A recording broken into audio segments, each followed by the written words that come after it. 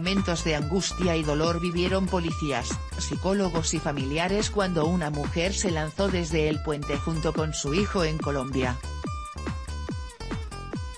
La tragedia tiene conmocionada a Colombia por la forma en que esta madre, en su fatal decisión, también llevó a la muerte a su propio hijo, la mujer identificada como Jessie Paola Moreno Cruz, de 32 años, se lanzó al vacío de un puente con su hijo May Nicolás Ceballos Moreno, a pesar del clamor de los socorristas.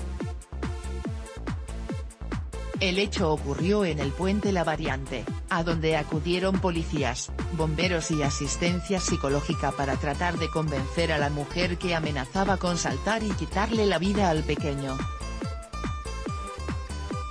De acuerdo con medios locales, el niño suplicaba mamá, no te tires, pero la mujer hizo caso omiso de las palabras. En imágenes que circulan en redes sociales se observa la desesperación, y los gritos de las personas cuando ven a la mujer cayendo hacia el vacío. También el dolor de los policías por no haber logrado persuadir a la mujer para que no saltara. Rafael Rico, el capitán de bomberos de Ibagué, manifestó que se intentó a toda costa salvarle la vida, sin embargo, fue imposible.